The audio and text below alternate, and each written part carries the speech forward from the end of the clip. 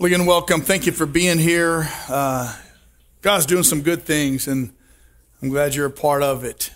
It's good for us to be together, and whether you're joining us online, you know, the many people joining us online or over at Stone Creek or either of our two services here, um, I'm glad you're part of Flipside. I want to continue to encourage you to invite your huddle. Uh, you have people in your life, in your spheres of influence, uh, that God's placed in your life and you and theirs. They'll listen to you. Uh, they'll follow you many times. And so let's all make sure we're following, uh, inviting them to follow Christ uh, through Flipside. It's a good, it's good for us to be together this morning. Thank you. Um, I had a great week up in Portland, uh, doing one of our church plant discovery centers uh, for people who feel called to plant a church and discerning together through a multitude of counselors and and the inspiration of the Holy Spirit who God has called and set apart for ministry. And I was remembered uh, at that assessment center, kind of how God works uh, and brings things full circle. Um, there was uh, back in 1995, I took a, a, a, mission trip with the group to Costa Rica. And, and God did some incredible things on that mission trip. There were four of us guys who went, just four of us. I only knew one of them.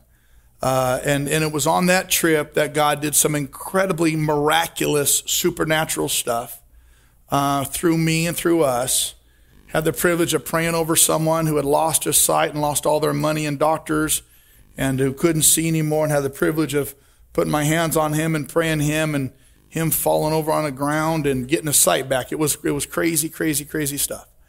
I uh, had the privilege of being in a prison where the night before someone had cut out one of the inmates' hearts uh, and they locked the prison down and said that people weren't allowed to go into the prison and be with the inmates. It was so incredibly one of the most violent prisons in Costa Rica. And, um, and I, I told him, I said, well, I believe I'm here, I'm here on assignment, and so I uh, am invincible. And so I want you to open up the doors and let me walk amongst the men.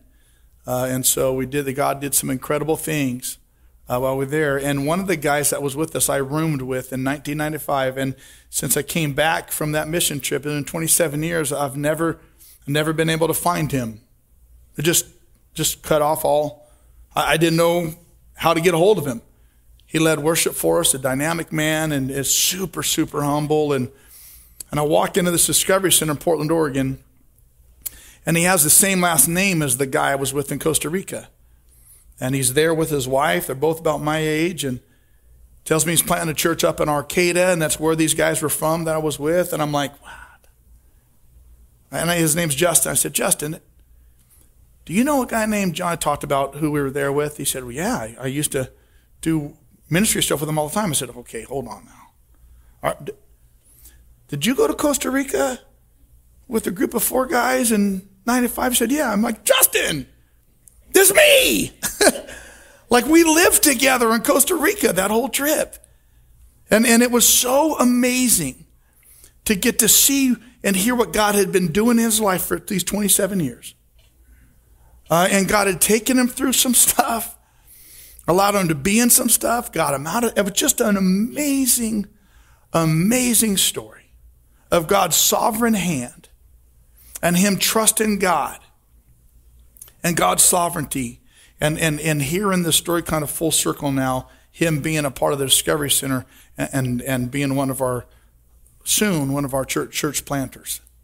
I just really, really like the, the more I get to be around God and, and his hand, the more and more and more I'm convinced we would do so well if we got our controlling fingers off stuff and let him do his thing. When does difficulty become really, really hard and dangerous? If God is good, does He keep us out of difficulty so it doesn't become hard and dangerous? If, if God doesn't keep us out of difficulty, does he at least keep us out of real perilous danger? If God is good, wouldn't He move His hand on our behalf so we don't have to go through really difficult and dangerous times and things?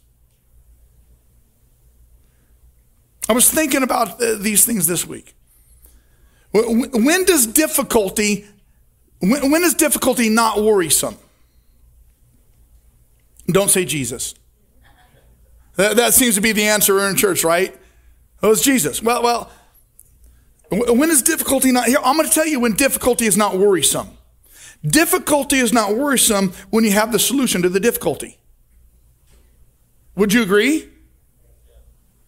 We stop worrying about the difficulty when we have the solution. When is danger not worrisome? Danger is not worrisome when we know it's not deadly. Like we can go through any difficulty and any danger as long as we know we got the solution, it's going to be okay, right?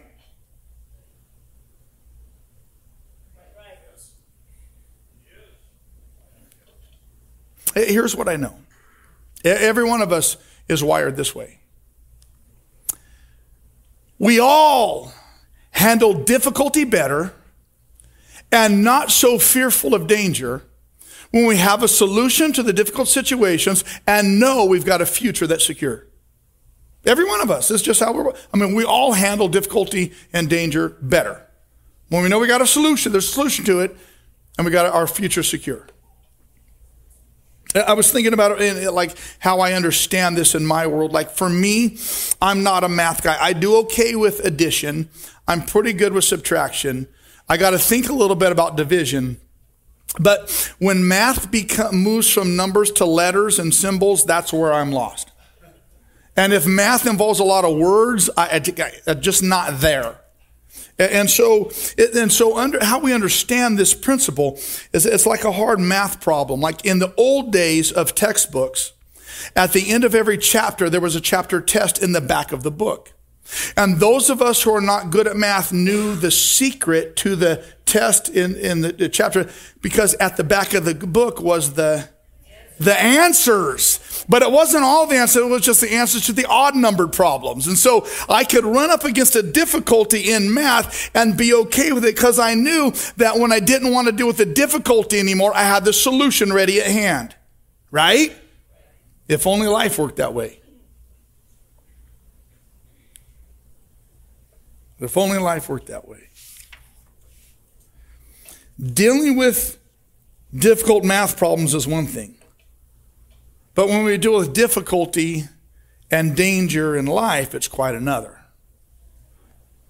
When we don't see the solution,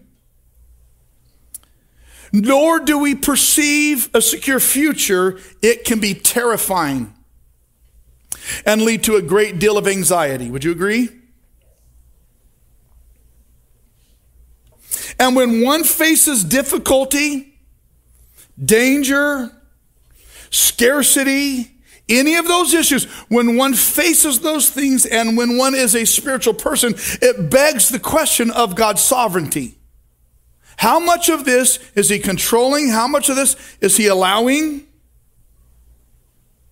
Is God controlling the difficulty that I'm in right now? If so, I want to know where the solution is, right? Is God allowing this difficulty I'm in right now to threaten my finances, my family, my relationships, my life? If so, I want to know what future do I have to look forward to? And so this series, Control Freaks. This series, Control Freaks, is designed for, for those people who believe hmm, that if I'm in control, I'm safe. And many of us are wired this way. Like if I can just get my hands on it, if I can just make the decisions for it, if I can just make everybody else's decision around it, if I can manipulate things according to my will, everything's going to be okay. Now, are you sitting next to someone who's like that? I won't ask if you are. Most of us, we, we honestly believe that if we can just get our hands on something, it's going to be okay. Some people so badly want to have control, that if they don't have control, they at least want knowledge. I, I at least want to know. Do any of you use the, um, I'm going to step on some toes. I apologize up front. Do any of you use one of those little parent things that tells you where your kids are and how fast they're driving and if they're braking too hard and who they're with? You know what I'm saying? Like, now that might be necessary for some of your kids. I've met them. But sometimes, Sometimes, well, it's, it's this desire to, if I can get my hands on them, I can, I can make sure that, but if I can't get my, at least I need to know. Because we like control. So, and when we live in that world, or when we're in a scenario in our lives for which we are the end all for all questions, See, some of you work in an environment where you are the stopgap because of whatever reason of everybody's question. You have to make the decision. Like every question comes back to you and you're responsible for every decision. Hour after hour after hour, moment after moment after moment. And when we live in this world of constantly having to be the one to make all decisions, it can lead to a thing, it's a legitimate thing called decision fatigue. And we're just tired of making decisions. Where, where, where, our lives are surrounded by nothing but questions from us, and we alone bear the responsibility for the decisions. And it doesn't take long to develop decision fatigue. Where, where you just come to the place in life, I can't make one more decision. Have any of you been there? Like if that's your work environment, whenever it is during the evening when you finally get a clock out, you come home and you're like, I don't want to make one, I don't care what we eat. I don't care what we watch. I don't care what we do. I don't care who comes over. I don't even care where I sit on the couch. I just can't make another decision. We've all been there. And, and, and when we get to that place, of either, either the, the innate desire to be in control or being forced to be in control. And it's overwhelming, and we just get to the place so I can't make any other decision. All we want is someone else to make a decision for us. And that's good as long as when that one makes a decision for us, we relinquish control and are good with going along with whatever's decided. The problem is, some of us are such control freaks that though we're tired of the control, it's very difficult to release control. And then when someone makes decisions on our behalf, even when it's God, we're not always okay with it. In this series, we're looking at accounts in the Bible that have as their foundation piece this thing called the sovereign decision of God. And this sovereignty of God and this providential sovereignty, we may miss this very deeply embedded theological piece if we're not looking for it. We can read the Bible, hear something from the Bible, read a story, hear a story, hear someone teaching it, and miss this deeply profound issue of God's sovereignty if we're not careful. But anyone who's serious about their faith, it's just about growing in their relationship with God. It's just about growing in their knowledge of God. Must become aware of this issue of God's sovereignty and find peace in submission to it somehow. And so let's look at an account and we're going to see what's going on in the Bible and we're, then we're going to unpack it and consider what it means about God's sovereignty. You ready? So what we're going to look at is one of the miracles in the Bible uh, in the in the in the Gospels, there's very few there's very few uh, miracles and events uh, that's listed in all four Gospels: Matthew, Mark, Luke, and John. Very few. This is one of them. And one of the miracles that's listed in all four Gospels is the feeding of the multitudes. Matthew 14, Mark 6, Luke 9, and John 6. The miracle of feeding the multitudes, as we read it in the Gospels, is not the first time the miracle of feeding the multitudes happened in the Bible. It didn't, if I can say it this way, it didn't originate with Jesus. Do any of you know where the first feeding of the, uh, of the multitudes happened? It's because you don't come to my Bible study on Wednesday nights. We studied 1st and 2nd Kings, and in 2nd Kings chapter 4, verses 42 through 44, is the first miraculous feeding of the multitudes. And the Bible says this A man came from Baal Shalishah, bringing the man of God 20 loaves of barley bread baked from the first ripe grain, along with some heads of new grain. Give it to the people to eat, Elisha said. So here's what's happening. Elisha's there with a hundred men. They're trying to do the work of God and grow in God and following God, and they're faced with a situation where they have no food, except for a hundred little, about this big, a hundred little loaves of barley bread. Hundred people. Elisha says, Well, give it to them. Well, how can I set this before a hundred men? His servant asked. But Elisha answered, Give it to the people to eat, for this is what the Lord says. They will eat, and they'll have some left over. Sound familiar? Then he said it before them, all the hundred men. They ate and had some left over according to the word of the Lord. So uh, this was the first time that God moved in this miraculous way and took a little bit of food and fed the multitudes. It was a foreshadowing of who Jesus is and would be and what he would do. And so we fast forward now to the New Testament, the book of John chapter 6, and we see a very similar thing, just larger. Because that was a shadow, this is reality.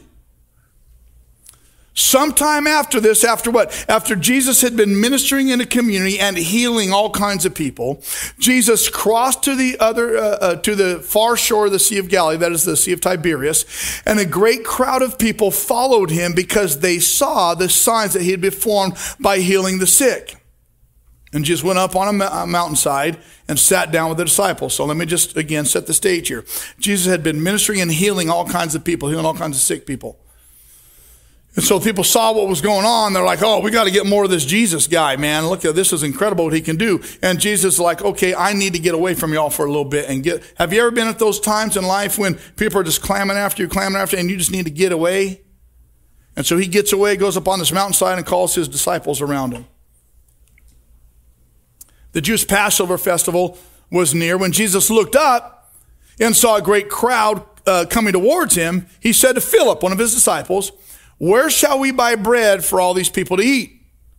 He asked this only to test him because he already had in mind what he's going to do. And so again, just up on this hill, disciples around him, sees all these people. Now we know from scripture it's about 5,000 men. You add women and children that we're talking about 20,000 people. That's a lot of people. All coming towards him. And he's looking at him and he's saying, okay, they're following me and they're walking into this place of scarcity and need and difficulty, I need to do something. He obviously knew that they were walking into scarcity because he already had in mind what he was going to do. You understand that? And so he says, Philip, how are we going to solve this? It wasn't a question of ignorance. This was a question of faith and strategy. He knew. Philip answered him, I don't know. It'd take half a year's wages to buy enough bread for each one to have a bite. Just a bite. Another of his disciples, Andrew, Simon Peter's brother, spoke up. Here's a boy with five small barley loaves and two small fish. But what good's that? Got all these thousands of people. It's interesting to me that we're so accustomed to seeing the scarcity in every opportunity. Like they're with Jesus, He alone is enough to provide, and then they get a little bit and they still see the scarcity. I, I wonder what would happen to us, God's people, and God's church, if in every scarcity we saw the opportunity. Do you understand? It seems as though we've been functioning from a, a, a, place of scarcity and attitude of loss for the past long while, rather than seeing the difficulty and scarcity as a great opportunity. If we just give it into God's hands, we'll see what He can do.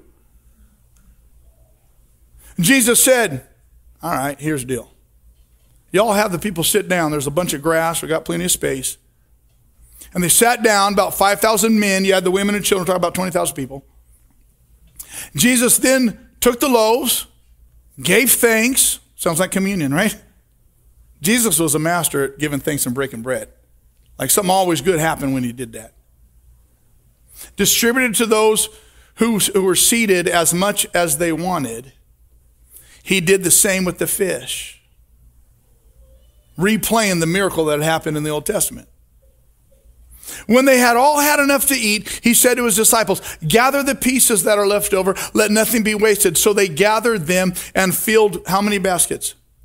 Interesting. How many disciples? Interesting. Uh, with the from the five pieces of of the barley loaves that were left over uh, after they had eaten it all, after the people saw the sign Jesus performed, they began to say, "What in the world is going on?" Surely, this is a prophet. This is the one that's coming into the world. Like this is a. Let me ask this question: What? what what do people follow Jesus without hope of getting something from him?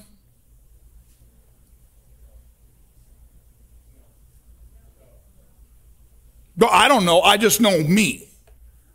I know I don't follow Jesus without the hope of getting something from him. And I would wager to bet that none of you, none of us follow Jesus without the hope of getting something. Is that good or bad?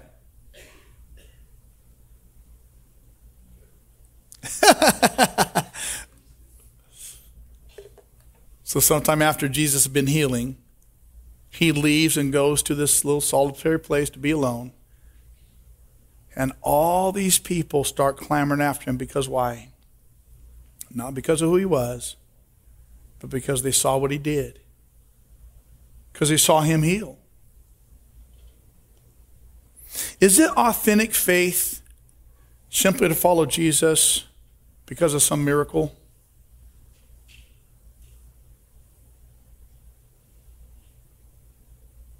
I want you to wrestle with this a little bit. You know what I think? I think it absolutely is. Let me explain. There's no follower of Jesus that doesn't follow Jesus without a miracle. It's called the resurrection. Do you understand?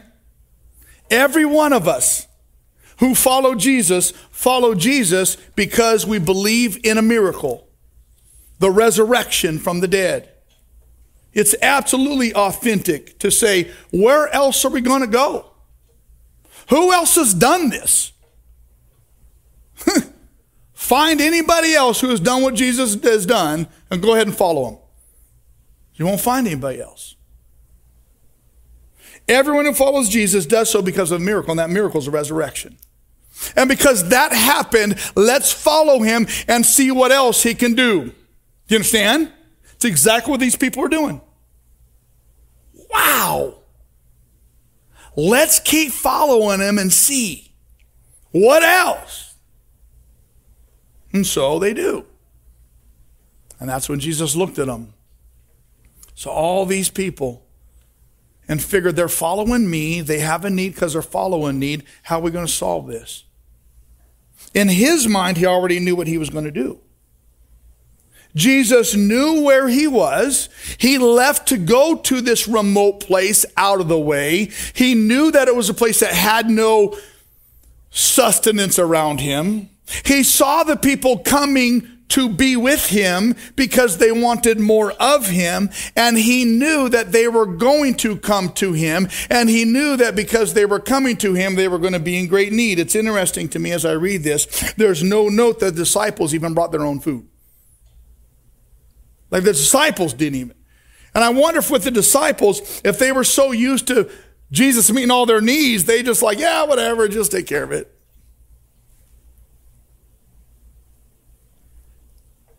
The Bible says that they were in this place of need, they were in this place of scarcity because they were following Jesus, and Jesus knew that they would be in this place of need, difficulty, and scarcity. Because it says he had already planned ahead of time what he was going to do.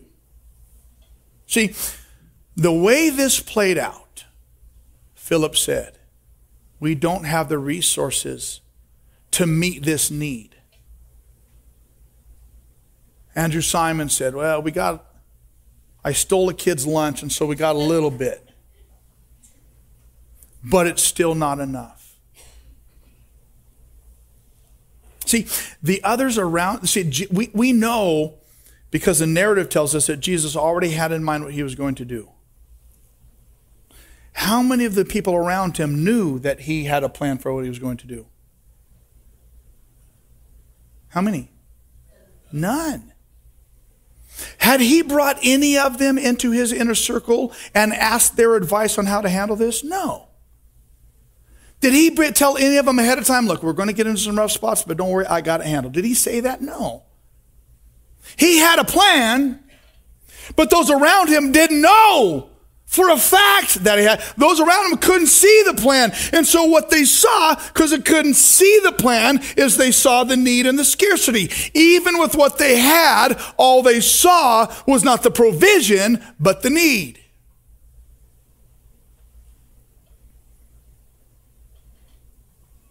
They even saw what they had as still part of the problem. And so, Jesus said, Listen, have people sit down. Jesus took the bread and the fish, and he gave thanks. He said, I've done my part, now you do your part. Go pass this out. And they passed it out, and everybody had as much as they wanted. Though Jesus had a plan, the people had to work it out. He had the plan, he had the power, he had the provision, but they had to take action. Do you understand that? There's always personal responsibility within God's plan. There's always personal responsibility within God's plan. Does God have the power? Absolutely. But within that plan is our personal responsibility. Here's, here's what we have to understand that in every plan of God, there's the personal responsibility of his people. Let that sink in. With every plan of God, there's the personal responsibility of his people. Uh, God doesn't see our need and say, I'll tell you what, sit back, don't do a thing, I'm going to take care of it all. You're responsible for nothing. He never says that. There's always, I have the plan, I have the power and provision, you have some responsibility.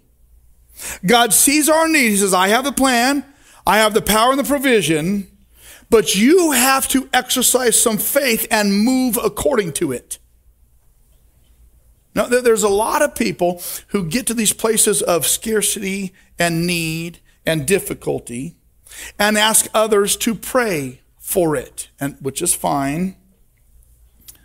But oftentimes in the request for prayer, there's the lack of changing personally the areas that need help. Do you understand? So many people say, got to have this need, and they only have power and provision, so just show up and do something. And God says, look, I can, but I won't until your feet move in concert with my will. There's always personal responsibility involved. So, do you pray over your need? Absolutely. And then you change your life to start stepping God's way. There's always this participation piece with God, within God's plan. Do you understand that? I can't overstate that enough. And what's interesting in this, this little tidbit here in verse 12 when they had had enough to eat, he said to his disciples, Gather the pieces that are left over, let nothing be wasted. Why would he say that? They had already had enough. I think for a couple reasons. Now, follow me. I think one, because they wanted the people to be reminded again of God's abundancy. It's not just that people had enough, they had enough and there was a ton left over. But not only that, I think Jesus was, and, and, and an entire custom grew out of this within the Jewish people. An entire custom grew out of this. That it became customary law not to waste food, because to waste food was to waste God's goodness and provision.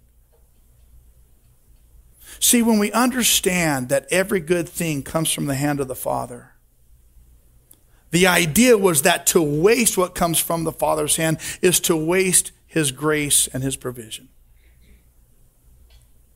And so when God decides to reveal His plan to work with us and to start to move, that's to be honored, not taken for granted, not wasted, but understood, appreciated, and honored.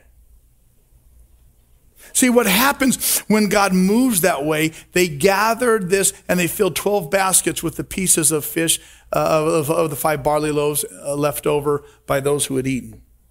What, what happens is that when God moves according to his plan, it always includes abundance. The plan of God always includes abundance.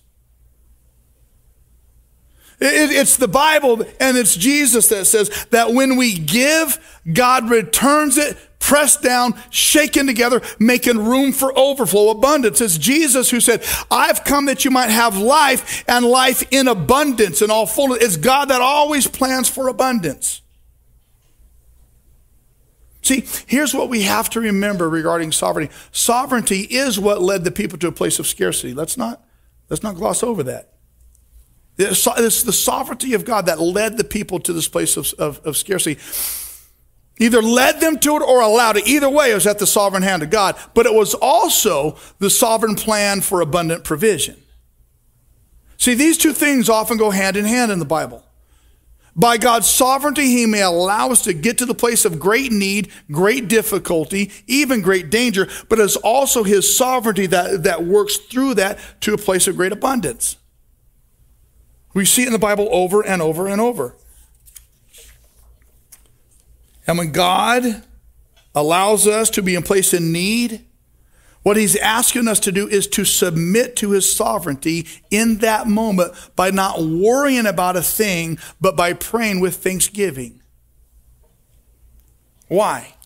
Because Jesus already has in mind what he's going to do. Now, I need to make this really clear distinction when we're in times of scarcity and difficulty. We must know beyond a shadow of a doubt that every time we follow God, that's the key. Every time we follow God, every time we're obedient, every time we're following Jesus, and we get to a place of scarcity and difficulty and need because of it, God already has a plan for abundant provision. The caveat is every time because we're following God every time because we're doing life is every time because we're obeying scripture, we're following Jesus. Every time because of that, we get to a place of scarcity and difficulty. God already has a plan and that plan always involves abundant provision. But please understand, not every time we experience difficulty, not every time we experience scarcity, not every time we get in trouble, but every time because we're following Christ. That's the difference. Every time God leads us into a place of difficulty and scarcity because of obedience, He's got a plan that's going to be abundant. But let's realize it's not that these people ran into trouble because they, you know, because they just simply walked out on their own, thought they'd go for a day walk, and all of a sudden they decided they were overexposed and didn't have any water. It's not that they got into trouble because they were either ignorant or arrogant. It's not because they got in trouble because they made some stupid decision. They got into a place of scarcity and difficulty because they were following Jesus. And when we get in those places of difficulty and scarcity because we're following Jesus, He takes responsibility for our provision. This works in every area. In your finances, you start doing it God's way and it gets tough. God's going to work it out. He, he accepts responsibility. In your marriage, you start doing stuff right and it starts going haywire. Don't worry about it. God's going to work that out. In your job, you start doing that stuff God's way. Don't worry. You might hit some rough spots, but God's leading you in that because you're following Him. He takes responsibility for your provision. Don't worry. Do you understand that? But when we get stupid and ignorant and arrogant and go on our own away from Him, thinking we got this on our own and we get into trouble, God's under no obligation anymore. Does that make sense? You understand this? And so many of us read this type of stuff and say, oh, God's just going to provide it because he loves me. And sometimes he goes, well, time out. I didn't ask that of you. You didn't get there because I, cause I led you. Like, if we lead ourselves into scarcity and difficulty, because of God's grace, he may intervene, but he's under no obligation. But, but there are some of the stuff that we have to accept great, a great deal of personal responsibility and work. Our tails off. And in the midst of our own stuff, then we pray to the Father for his mercy and grace to be profoundly given to us, even though we don't deserve it. You understand? You follow me so far? You okay? So here's the truth. Many times, many times, when we follow Jesus and we do stuff God's way, in God's sovereignty, He leads us and allows us into times of difficulty, scarcity, and maybe even danger. So we'll learn to submit and trust Him in the middle of it. See, when we talk about these things of scarcity and difficulty, that is our perspective of what we're going through. Did you know that God has no verbiage for difficulty? Difficulty is not in God's vocabulary. So when we see things from a, a, perspective of scarcity and difficulty, that's from our perspective, not God's. And so when God has allowed us and taken us into those moments, we ought not see them as scarcity and difficulty as much as opportunity because we've submitted to his sovereignty. When you're walking with Jesus, we can walk into scarcity we can walk into difficulty without fear. Why? Because with Jesus comes a plan, and with that plan comes provision. The only thing he asks of us is to walk in step with him and submit to his sovereignty. That's what's at issue today. When we follow Jesus and submit to God's sovereignty, there's no danger in that. None. And so, come up here, Jared. If you're in a place, in a position of difficulty or scarcity in any area of your life, because you're following Jesus, submit to God's sovereignty right now. And do what's right God's way